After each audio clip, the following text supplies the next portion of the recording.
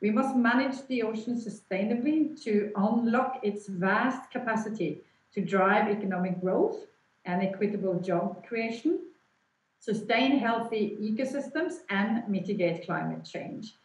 We need to build sustainable ocean industries in areas such as energy, transportation, food production, CCS, etc. This demands political will, as we've talked about. It demands scientific insight, as we've talked about, and international cooperation. And I think that our dialogue here today uh, is one of many examples on that.